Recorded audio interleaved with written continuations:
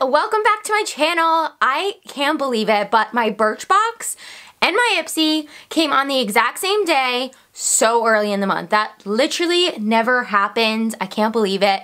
So I'm going to unbox them for you today. I'm going to do just my Ipsy in this video and then in the next video I will do my Birchbox and then I will compare the two. Last month I didn't end up filming my Birchbox unboxing. I did end up getting it, but it was like the day before we left for Toronto and it was just kind of crazy and I thought, you know what, let me just open this. Let me see if there's anything that I want to take on vacation with me. And yeah, it was a good box. Nothing like totally crazy or, you know, totally different. But yeah, let's jump in to this month's Ipsy bag. All right, so this month we do have the normal pink bag. Thank you to everyone who told me what the gold bag meant. I got the gold bag last month, right? Or was that two months ago? I can't remember.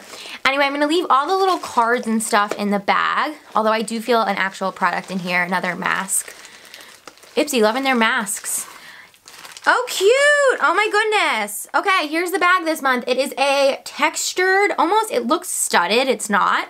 A textured black pleather bag. I am obsessed with this. It is so cute with a gold zipper and this little faux leather hardware. Oh my gosh, this is adorable. Now this is definitely one of those types of bags that you can keep in your normal everyday bag and no one will even blink an eye because it looks so, so cute love. Let's see what we have inside. The first little guy that I'm pulling out Oh, so weird, are these Hanalei Papaya Enzyme Powder Cleansers. So they look like little samples that you can pour into water or juice and use as a bit of a supplement. That's really cool and super different for Ipsy. I feel like I've never, maybe like a long time ago, I got some sort of like green mix in my Ipsy bag, but this is really different. Really cool. I'm excited to give that a try.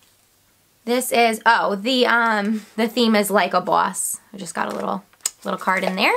Next product is, what do we have? Ooh, cool, the Smashbox Photo Finish Foundation Primer Radiance with Hyaluronic Acid. I am the biggest fan of hyaluronic acid. It makes such a difference on my skin, just totally plumps everything up. This looks really cute. So it's a primer, which I, like, honestly, I haven't been using a lot of primers lately, but Oh, pretty. It reminds me of almost like a liquid highlight. So it's like a very pink, pinky gold toned primer, I guess, that you could use under your foundation. But to me, it really does look like a highlight, something that I would put on my cheeks to just add a little bit of shine. So cute. Next thing, pulling on out, a brush. A Luxe brush from Luxie Beauty or sorry, a Luxie brush from Luxie Beauty, and this is the medium angled shading brush, number 207. I can always use more eyeshadow brushes, although I do tend to like just use the same eyeshadow brushes all the time, but I love the brushes I've been getting in my Ipsy. They're always so cute. This one's pink with like a really dark copper um, piece up by the brush. Really pretty. Excited to try that out. Next product. Whoa, Dirty Little Secret. I don't know what this is lip gloss, full size. That's exciting. All right, let's open this guy up. I've never heard of the brand Dirty Little Secret, but let's see what the lip gloss looks like. Oh, pretty! Oh, how cute. The packaging is really adorable with all these little dots. The color is Nude Beach, which, thank goodness, if I got another dark purple, like dark, dark berry color, I would just lose it because I feel like in all my boxes I get dark berry tones. This is really beautiful. It's a really, really beautiful nude color with some gold little specks in it. So stunning.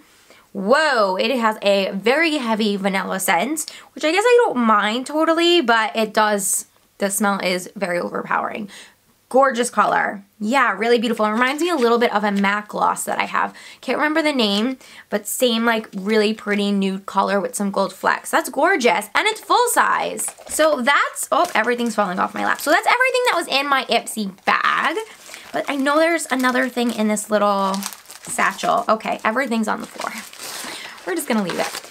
What do we have here? This is the Lily Whitening and Brightening Manefit Okay, sorry. The brand is Man Manefit. I hope I'm pronouncing that right. Beauty Planner Mask.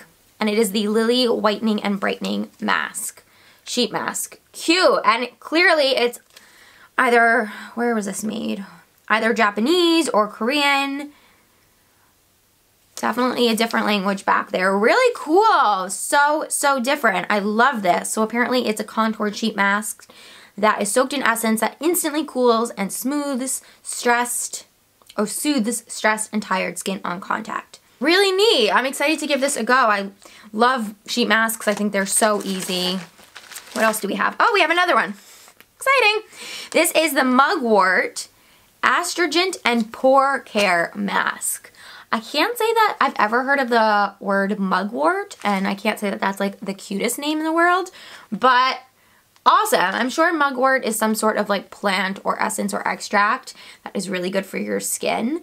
Nice. Apparently this mask makes the skin clear, helping skin astringent and pore care.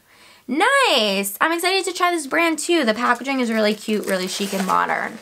So that's everything that was in my Ipsy. Oh my goodness. I am obsessed with this month's Ipsy, especially the bag. I feel like I really like lucked out with just the bag in general. Like if they just sent me this, I'd be happy.